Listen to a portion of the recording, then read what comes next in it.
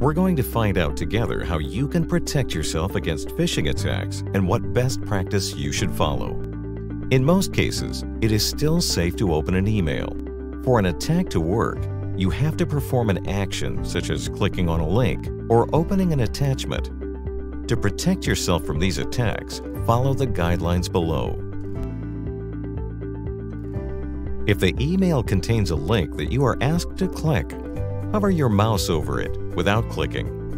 A tooltip or information at the bottom of your email client will show you the actual destination that you'll be taken to if you click.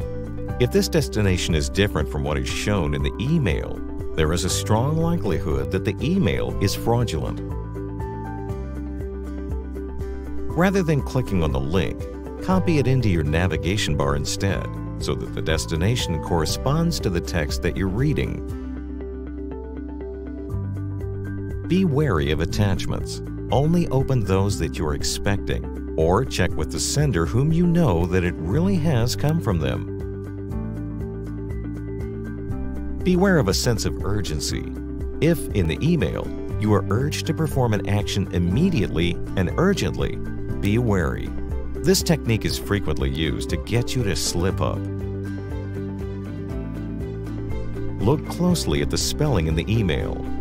While it is true that cyber criminals have improved the spelling and grammar in their phishing, some of these emails are still written in rough and ready syntax.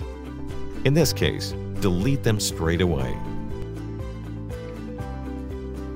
Check the message sender painstakingly Sometimes a single letter's difference is sufficient to deceive you. The domain name can also be similar, but include some differences.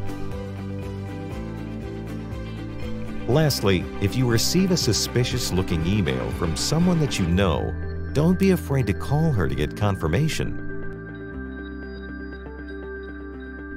First and foremost, it's about showing common sense.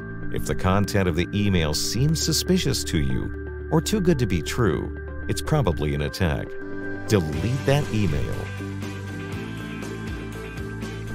Lastly, and very importantly, only use your work email for work purposes. Failure to follow this rule greatly increases the likelihood that this address will be harvested and used for phishing operations. See you soon!